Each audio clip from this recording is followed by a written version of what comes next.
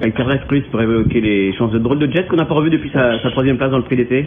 Effectivement, après sa troisième place, le cheval avait fait un super meeting d'été. Il est parti euh, trois semaines en vacances chez un Alcopens euh, au bord de la mer. Il en a bien profité.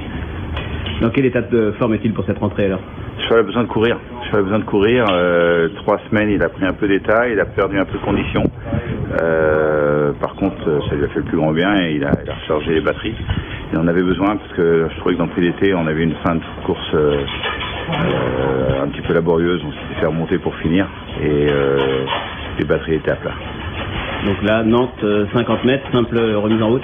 Ouais, ça va être compliqué. Déjà à 50 mètres, je l'ai gagné à deux reprises, Général Lupin et, et Danseur Magique. Et c'était deux chevaux qui étaient archi affûtés à l'époque. Pour la gagner à 50 mètres, il faut des grands champions et, et au top de leur forme. Euh, Drôle est un grand champion, mais euh, de rentrer sur euh, 3000 mètres, serré, c'est quasi impossible.